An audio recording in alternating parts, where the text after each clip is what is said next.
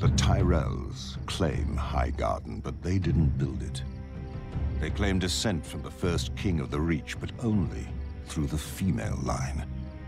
The truth is that House Gardener built Highgarden when they ruled the Reach as kings, not lords. And as their name attests, they were the true heirs of Garth the Gardener, who founded their house and the kingdom, and brought law and order to the Reach. He built Highgarden as a fortress, not a pleasure palace.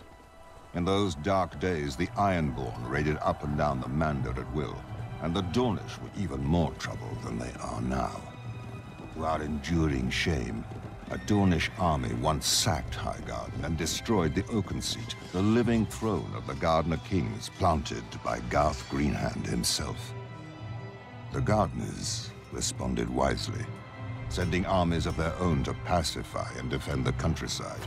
My ancestors at Horn Hill joined them, as did the other great families of the Reach.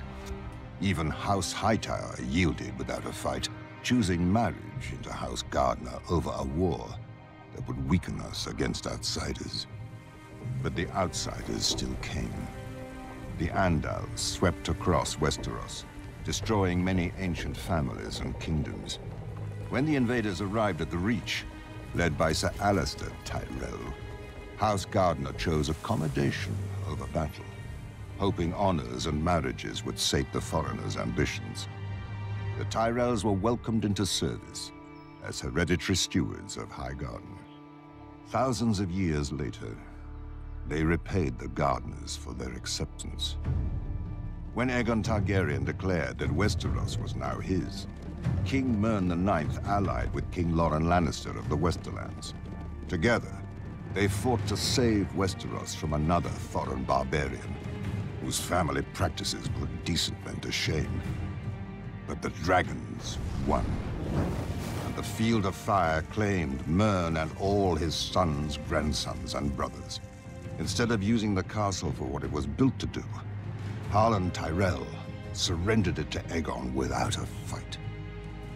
In exchange, Harlan was given the castle his family had served for thousands of years, with all its attendant lands and lords, including my family. Perhaps the Tyrells were great once, but Harlan gave away their honor when he opened gates that weren't his to open, and to a foreign invader. Ever since, there hasn't been a Lord Tyrell who wasn't a mockery of the title. Women rule that house. Everybody knows it. And look what it's wrought.